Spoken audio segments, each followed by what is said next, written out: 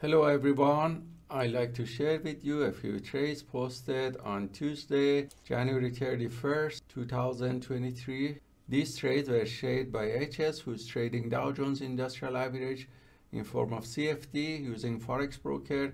As you see, his macro chart is in uptrend, and within that, he will find a smaller uptrend waves of the structural chart, which is shown here.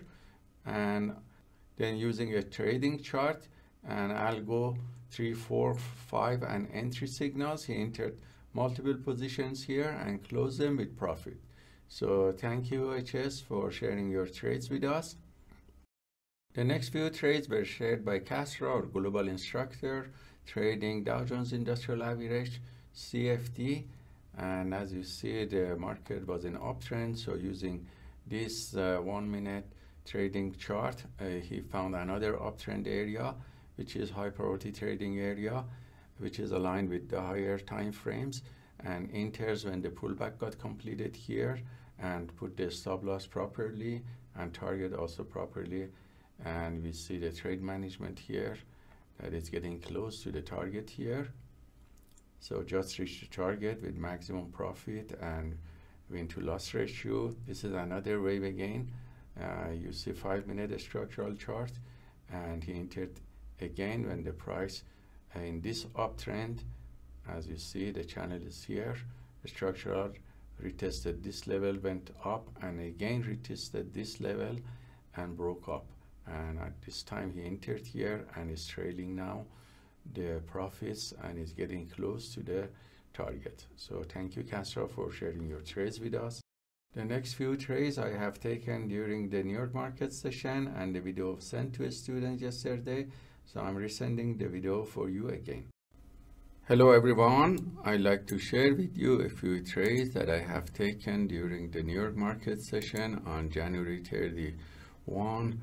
And these trades were taken on E-mini futures, uh, NASDAQ mainly, and also Russell in form of E-mini and also micro futures and the market was in uptrend. Uh, let's look at the macro structures in one hour chart. As you see, uh, there was a close of previous day and also the low of previous day that was broken during the global session and the market uh, in New York time here retested this level again you see around 950 so this uptrend area there was only 15 minute available time because of news that was uh, pending.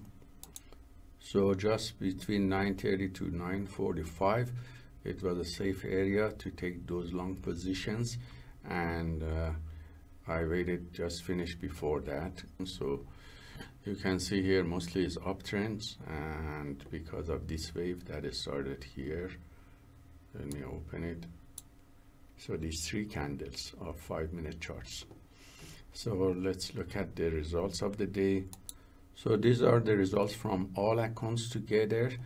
Uh, so on single chart entry but copied to multiple apex trader accounts. So uh, profit factor of all of them was 8 and uh, the win rate was about 67 to 100 percent and we had average win to loss ratio of 3.8 and the largest winning trade was 185 and largest losing trade was $59 so hope these trades taken by the PAAT system is useful for you and let us know if you have any questions.